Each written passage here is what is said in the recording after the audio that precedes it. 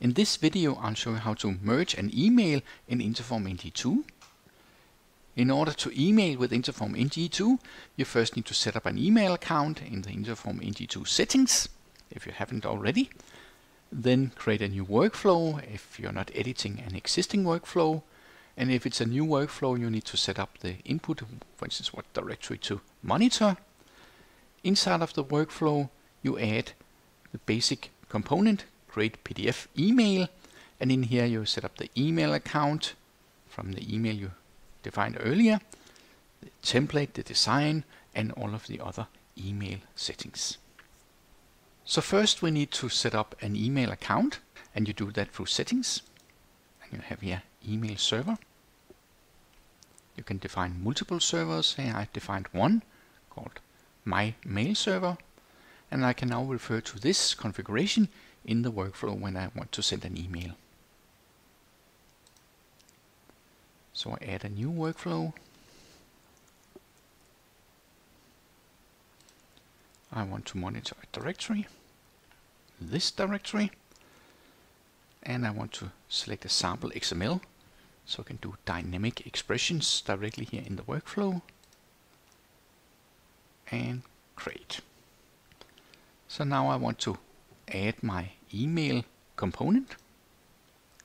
We have it here, create PDF email. We select the design or template for merge. And here for the attachment, it's default called attachment.pdf.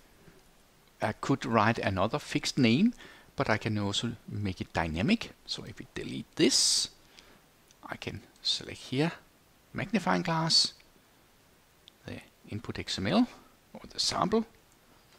We have here a document number and I want to use that as a part of the file name.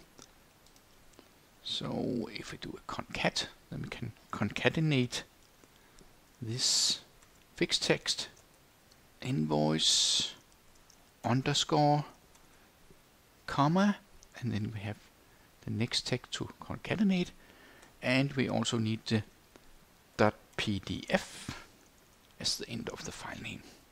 That's it. The email receiver. That could be a fixed receiver, like I type in here, or it could be a dynamic receiver found in the input XML. So let's look into here. Email. Like so. And we can move on with the other design elements here. The subject, the invoice, template, which sets up the contents of the email. You can refer to images and whatever. And uh, who is the sender and, and of course the mail server here. We select that.